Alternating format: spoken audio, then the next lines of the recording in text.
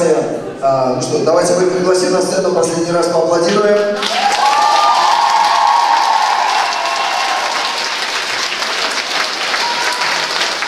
Кем были, если бы не их учителя? Правильно?